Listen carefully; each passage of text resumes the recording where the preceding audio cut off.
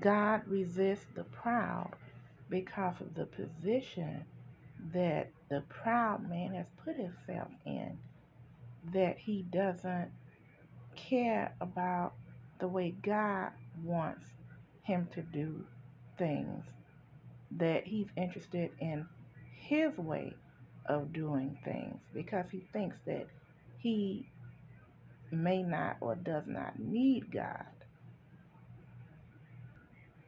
God wants us to submit to his way of doing things. God gives grace to the humble. I want that. I definitely want his grace and his favor in my life.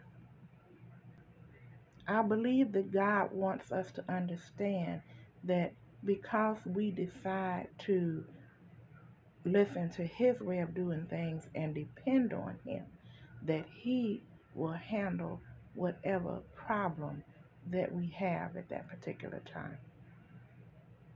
God's word says that if we cast our cares upon him, he will care for us.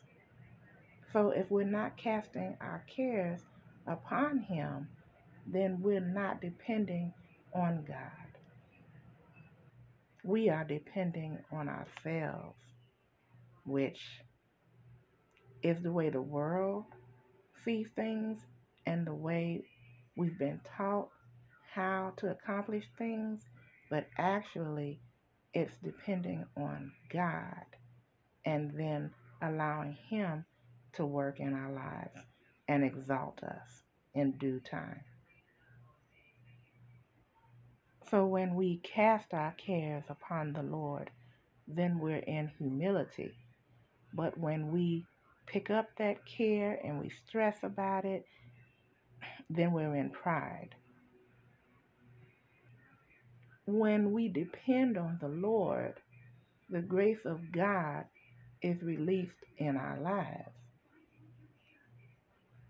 We depend on Him by casting our cares, our worries, our problems upon Him.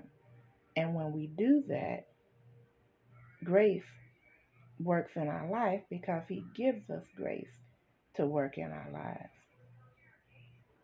Burdens are then removed and yokes are destroyed. So, therefore, we have to make a decision to depend on God, knowing that He loves us.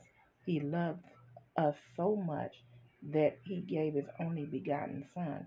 So, therefore, He is going to be there for us with anything that we need.